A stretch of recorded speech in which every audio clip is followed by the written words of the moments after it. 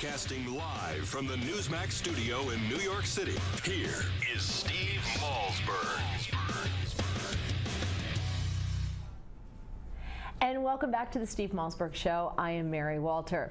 Uh, joining me is Betsy Woodruff. She is the political reporter for the Washington Examiner. She's a former Capitol Hill reporter for the National Review, and she is psychic because she predicted that Eric Cantor would lose, and nobody else did. Betsy, welcome to the show. How are you today?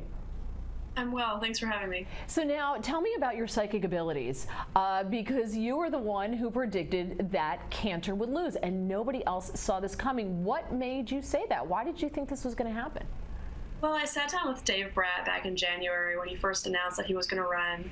We met at the National Review DC offices, talked for about an hour, went out for lunch afterwards, talked with him and his consultants, and then I called a bunch of Virginia folks. And what I heard, and most importantly from a former grassroots director for Congressman Cantor, was that Brat was going to be the most formidable primary challenger that Cantor would ever face. Uh, not necessarily that he would win, but that if anyone was going to beat him, Brat was best postured, at least of folks who've run against Cantor in the past. And then if you look at what happened over the over the previous weeks, a perfect storm came came together, and. Uh, the rest is history. Yeah, now, why why was everyone saying that he's such a great candidate to be Cantor? What was it about him? He's a nice guy. I hear he's very affable. He's he's very nice. He's a straight shooter. But that doesn't mean you're going to win. That doesn't mean anything. I mean, you could be the nicest guy in the world and still lose. So, what is it about him? There are a lot of nice people walking around. That's true. Uh, I think what makes Brat a compelling candidate is he's got the public policy experience. He volunteered for State Senator Walter Stosch on education policy. He was on Governor Tim Kaine's board of economic advisors. So he has kind of some of that heavy hitting policy background. And then also, he was very close with a lot of the grassroots folks. So he kind of has a foot on both sides of the fence here, if you will. Uh, is both familiar with Richmond insiders, but also, you know, knows his way around grassroots Tea Party, Libertarian activists in Virginia's 7th District. And he apparently ran a shoestring campaign, which I don't think people understand. Eric Cantor spent something like $5 million on this campaign. And Brat spent, what, less than 150000 right? Mm-hmm, in that ballpark. Yeah. Right. So how did he do it? What did he do? His his campaign manager is 23 years old and is sleeping on some guy's couch apparently, um, which is true. I don't say that to be funny. It's really true. Um, so how did he do it? I mean, 150 thousand dollars beat a five million dollar campaign. Did he use social media? Was he, you know, standing at, at, at a local grocery store shaking hands? What did he do? Well, not to poo-poo Brat's accomplishment, but I yeah. think it's fair to say that in this case, it's less a situation of Brat winning so much as of Cantor oh, losing. Oh, okay. Cantor really bungled it. He wasn't very visible in the district didn't really have yard signs, you know, spent most of his money on negative ads against Dave Brat mm-hmm. that actually dramatically raised that guy's profile. Uh, mm-hmm. and, and Cantor's folks just weren't that involved. And on top of that, there'd been bad blood brewing between Cantor and grassroots activists in the district. Young Guns Virginia, which is a group that's an offspring of a group that Cantor founded, invested a lot of time and resources in going after conservative activists who are district chairmen throughout Virginia. So these conservative activists who in the past hadn't really angled to go after Cantor had said, eh, guy's too big of a fish to fry, we're not going to worry about it. When Young Guns Virginia came after them, a lot of these guys said, heck no, it's open season, gunning for Cantor. Right. Okay. So it was really more, like you said, of Cantor losing than necessarily Brat winning the the election. So um, he he had grassroots behind him. Now we hear a lot. I'm hearing a lot today about you know because the left is saying this is the sign that the Tea Party won. But correct me if I'm wrong. The Tea Party there did not give him, and there's several. There's no Tea Party organization, but on a national level, he didn't get a dime from any, and no support from the Tea Party, any of the national organizations. Is that correct? Yeah, that so, is. Didn't get any big money from significant outside groups. Why is that? Why didn't he? I mean, if he's the darling of the Tea Party, as everyone's telling me today, why didn't he get any support from them? And even the Tea Party is out talking, you know, making making the rounds. These talking heads from the Tea Parties, like he's their guy when they didn't support him. Why didn't they support him? Well, I think people just didn't believe he could pull it off, which is fascinating because there was so much money poured into Matt Bevin's race against Mitch McConnell. Right. We all know what happened there. Right. But Brat just never really sold himself to these national organizations, so they stayed out. Uh, and yeah, it's it's definitely weird to paint this as a Tea Party win when national Tea Party groups really can't take any responsibility for Eric Cantor's loss. Now, do you think the left is painting this as a Tea Party win because they don't want to paint it as a vote against immigration? And that's what a lot of people are saying. This was not about the Tea Party. This was about immigration. Is that what this was about? I think it's about a, a, confluence of factors. Immigration is certainly an important part. Uh, without the immigration centrality in Brat's campaign, he wouldn't have gotten support from Laura Ingraham, Ann Coulter, right, and Mark Levin. Right. Support from them was pivotal, especially in the final weeks, as far as Brat gaining gaining popularity, gaining visibility, getting money. So that's absolutely an essential part. But another important thing to bear in mind is that Brat's political background is much more much more emphasized towards compromise and actually hard policy work than it is towards maybe sign waving or protesting or mm-hmm. you know a lot of a lot of what we traditionally think of as activism. The the state senator that he worked for was a moderate Republican. He was on Democratic Governor Tim Kaine's board of economic advisors. Brat is not a guy who's afraid of reaching across the aisle. He's not a guy who's afraid of working with people who are not ideologically aligned with him. And I think the left really misses that, and to their detriment, when they suggest he's some sort of ideologue or bomb thrower.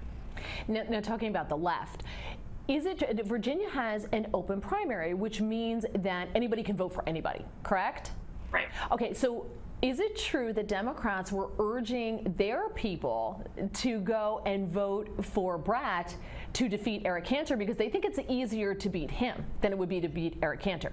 Yeah, I think there was a little bit of that. Uh, that was a factor, but not not a game changer. You know, there was some, and you and you hear stuff along those lines. And I mean, certainly, I'm sure some Democrats voted in the Republican primary, but Cantor's folks really can't blame any Democratic sabotage on his loss. And also, the other thing to remember here is that this was a really solid Republican district. Brat is still the prohibitive favorite. I highly doubt national Democrats are going to spend on the Democratic candidate there just because Eric Cantor got this district made so it would always be easy for him to win in generals. And now okay. Brat's enjoying the spoils of that. So you pretty much think it's, it's a given that he, who is he going to be running against? I think the guy's name is Trammell. He's all he's another professor at the college where Dave Brat works. Really? So, yeah. yeah. They're both, at, and it's this tiny little school too, and they're both professors. They're both at Randolph Macon. Oh, yeah, cool. I'm sure they'll have some interesting faculty meetings. Yeah. That's very interesting, and you, and you think that Brat's just a given to win just based on the makeup of the district in and of itself one of my best Virginia sources, uh, who's been involved in Republican politics in the state for a long time, I talked about it with him election night. He was floored. He didn't expect Brat to win at all, but he said now that Brat's won, he's the prohibitive favorite. Okay. So, um, do you and, and obviously you know people voting on name recognition did not come into play here. So he was very good. I, I, I guess Cantor was very good at getting Brat's name out there by negative campaigning against him. Um, how many people? How, what percentage of possible voters actually voted in the primary? Because I think that that's really huge and it has a lot to do with this.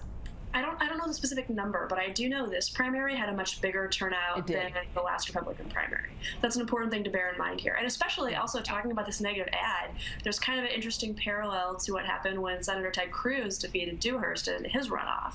Dewhurst put up ads that were incredibly negative against Cruz, you know, suggested he was red Ted, suggested he supported communism, and those ads dramatically raised Cruz's profile. Sure. The exact same thing happened to Dave Brat. You'd think folks would learn not to do that, but I guess the majority leader missed the message.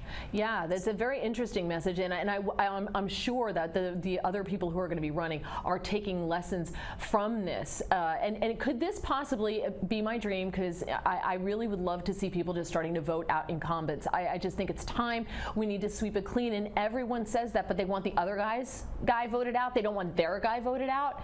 Could this be part of that? You know, look, Eric Cantor's been there too long. It's time to sweep it out. It's time for fresh blood. It's a good question. Um, I spoke with the campaign manager for Joe Carr, who's a Tea Party candidate running against Senator Lamar Alexander in mm-hmm. Tennessee. Mm-hmm. The campaign manager said they've seen a dramatic spike in volunteering, in donations, in earned media since Tuesday at about 10 p.m. Campaign manager said it's possible it's a game changer. If they end up winning, part of the reason for that is going to be because of the injection of energy that came after Brat beat Cantor. So Carr in Tennessee is definitely the one who's most likely to benefit from this. That's a race to keep an eye on. Well, that is the best news I've heard all day. That makes me happy. There's hope. I actually have hope for change. Ah. and lastly, I just want to ask you, uh, just very quickly, we don't have a lot of time. Is this the rise of the Tea Party, and do you see this as a bigger fraction in the Republican Party? Definitely a bigger fraction. Okay. Uh, I imagine Brat's not going to have the warmest welcome ever on Capitol Hill. And it's also an injection of energy to the Tea Party. Even though the Tea Party can't really claim a scalp here, mm-hmm. the Tea can definitely capitalize on it and say, look, there's an appetite to throw the bums out. If we can take out Cantor, we can take out anyone. Right, right. Well, that's good. It's invigorating, and I'm glad to see that this is motivating people. Now, since you are clearly psychic, I was wondering before we go, um, since you were you predicted this, would you be able to share any lottery numbers with me? Uh, I'm keeping those myself, man. I, come on, do some good. well, I hope we have you back because I'd let you know. I think we need to follow this and to look at how these are going with some of these other races, like you said, to watch uh, with with these incumbents. Hopefully, getting the boot, which would be wonderful. Um, I, I, I don't care who they are. I think they need to go. Thank you so much, Betsy Woodruff. I appreciate you joining us. Political reporter for the Washington Examiner, former Capitol Hill reporter for the National Review, and the only person to predict that Cantor would lose. Fantastic. Coming up, more Steve Malzberg and Gimme Five. That's next.